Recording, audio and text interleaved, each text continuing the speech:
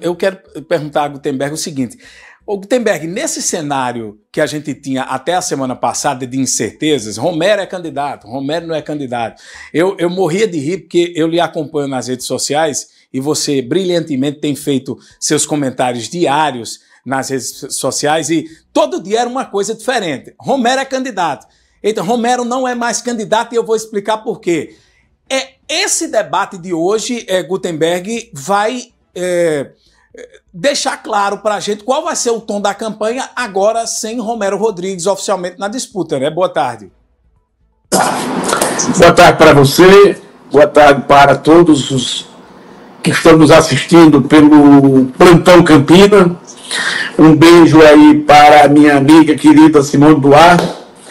E um beijo também para Giovanni Santos, que eu sou admirador de vocês dois aí de Campina Grande. Se eu for selecionar algum de Campina Grande aí, só cabia nessa mão aí. Eu sou muito criterioso.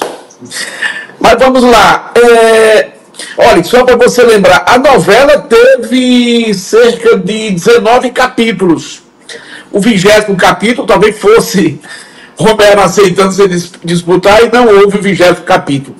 Mas essa novela tá, me, me rendeu bons frutos, eu tenho que dizer teve dia da novela que a gente atingiu 100 mil seguidores assistindo o, o vídeo do, do, do Instagram. É, 100 mil é muita gente, né? Então isso eu agradeço a Romero por essa novela. Bom, mas vamos lá, o debate de hoje aí eu acho que, que promete, é um debate interessante. Me parece que vão ser seis candidatos, dos dez que se apresentavam, eu selecionei dez, mas me parece que teve até outros. Olha, Romero foi, desistiu, Rosália desistiu, Bruno Roberto foi forçado a desistir pelo PL, teve o Márcio Canielli do PT que também é, tiraram a candidatura dele, daria dez candidatos, ficaram seis. E uma coisa que eu observo, o perfil dos candidatos, dos seis, é, tem quatro com perfil de esquerda, eu coloco o Bruno como centro, centro-direita e Bolinha da direita.